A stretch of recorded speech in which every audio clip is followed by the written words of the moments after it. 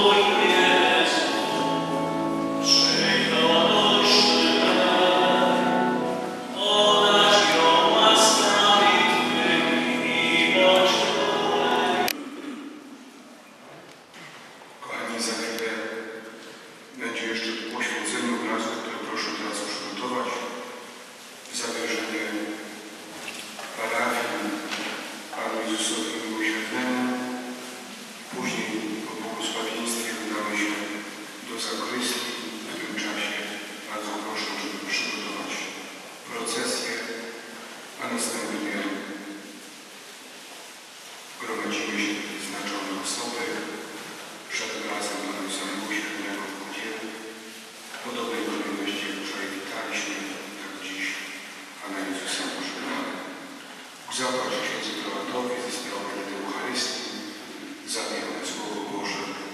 Dziękuję, kochani, raz jeszcze Panu wszystkim za to, żeście Jezusa nie zostawili, że Jezus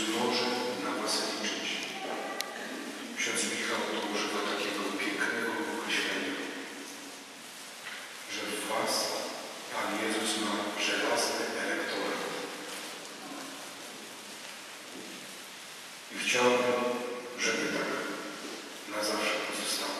Byście byli elektoratem Pana Jezusa żelaznym, to znaczy takim, na którego Jezus zawsze może liczyć. I za taką postawę przez całą tę peregrinację